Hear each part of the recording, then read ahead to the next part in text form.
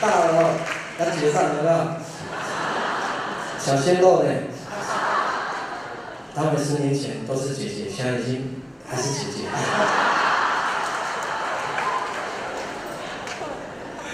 哦，呃，就是很多像带过的年轻、年年轻弟弟妹妹们，他们有的人都有也回去部落，在部落做一些很多事情，有的开店，有的也开始带部落的弟更小的部落的弟弟妹妹们这样。但我觉得都是因为大家的支持，才才有办法让这样的理想真的实现。然后我也故意让袁凯有机会发表。他自己的作品，今天要唱什么？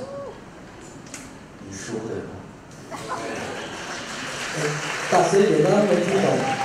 你说的话。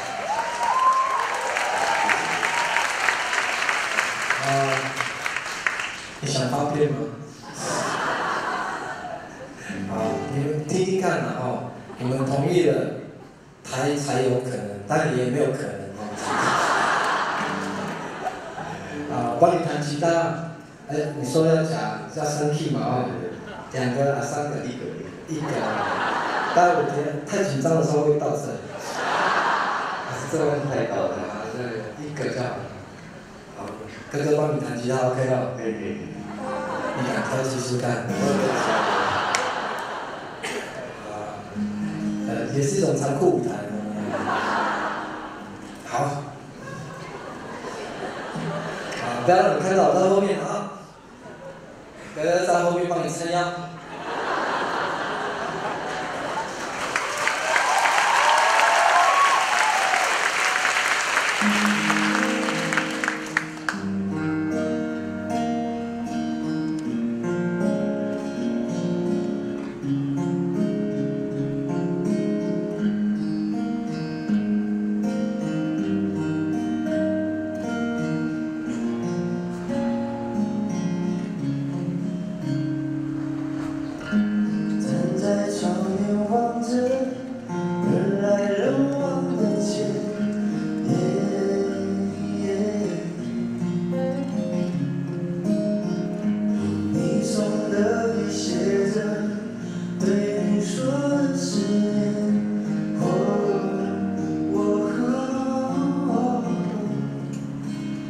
就这样望着窗外让回忆留在脑海。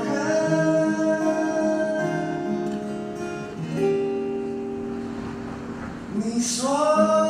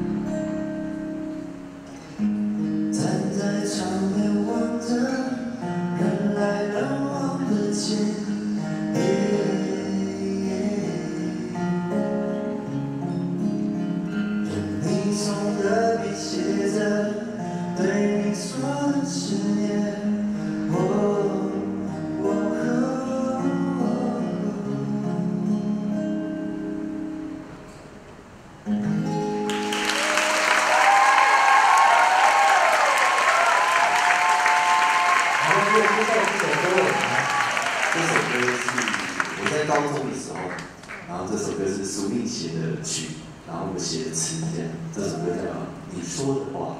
收在原来二零二八年后的专辑。啊，这可十二年，可以我去了，可以回去了。